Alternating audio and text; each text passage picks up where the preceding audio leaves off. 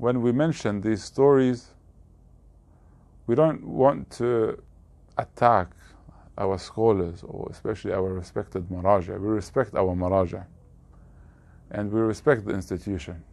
We believe, or I believe, I am part of uh, this institution and I'm part of the path of the marja'iyah, whether I like it or not, whether you like it or not. I am part of this path.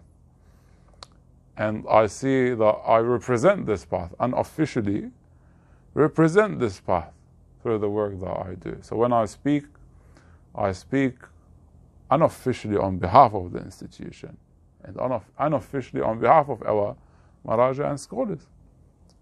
I teach people to follow the Maraja. I teach people to follow and respect the active scholars.